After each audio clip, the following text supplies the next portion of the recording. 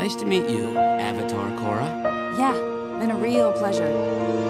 We didn't even know each other then.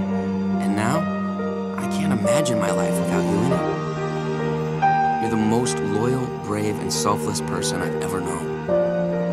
I think you're pretty incredible too, but you already knew that. The day we met, frozen, I held Right from the start, I knew that I'd found the home for my heart. Beats fast, colors and promises. How to be brave? How can I love when I'm afraid to fall? But watching you stand.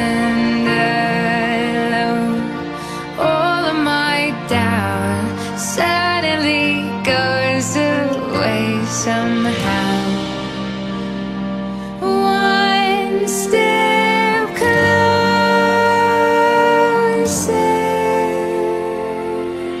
I have died every day waiting for you, darling. Don't be afraid. I have loved you for a thousand years. I love you for.